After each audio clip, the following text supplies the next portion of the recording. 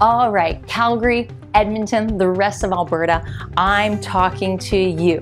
Entrepreneur, small business owner, I know things are really tough.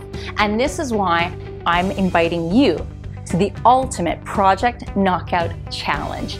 Have you seen season one of Project Knockout?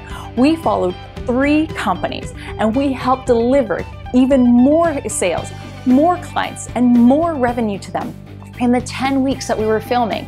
Well, we're upping our challenge. We want to invite seven, seven of you to come on for the ultimate Project Knockout competition. What does this mean? It means not only are you going to be enrolled in our standard 12 week program, but number two, at any given time, you're going to be filmed by our film crew. We're going to have some in person visits. We're going to be having you talk directly to the camera, tell them about your business, use this for your own marketing purposes. But number three, here's the challenge you might be kicked out. You may be booted if you're not doing your job, if you're not competing with your other entrepreneurial peers. So, where's the good news? The good news? You can win $10,000 if you are the ultimate project knockout.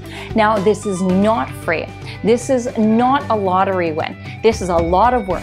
This is going to be an investment but ultimately you're going to get more media traction. You're going to be part of an exclusive crowd and you're going to be able to build your business better than ever before. Listen, it doesn't take any time to go down and apply now. What if you not only grow your business in a time of recession, but you have the media and the episodes to prove it. Think about what that will do for your business. Come on, Project Knockout. I'm excited to see you on our season two. Make it happen.